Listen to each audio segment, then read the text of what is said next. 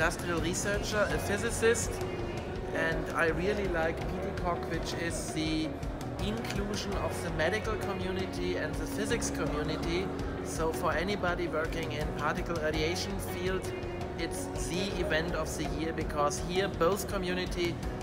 physics and medicine come together, which is extremely important in such a technologically demanding field.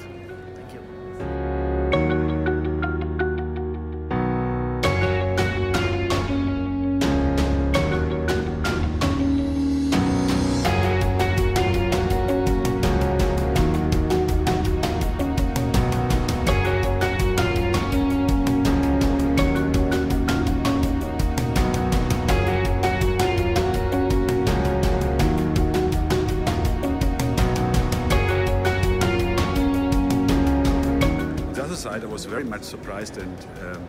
yeah, um, enthusiastic about the fact that boron neutron capture therapy suddenly is appearing and uh, made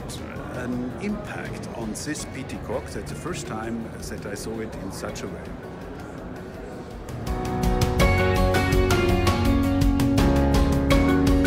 So far it's been great. Um, I, I, really appreciate it as a PTCOG as a mix of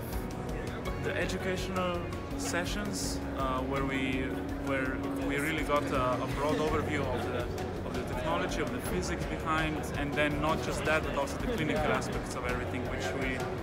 which is really nice to hear to see how the technology that we do is then clinically uh, used in, in practice. And then besides the educational stuff, there was also the, the scientific sessions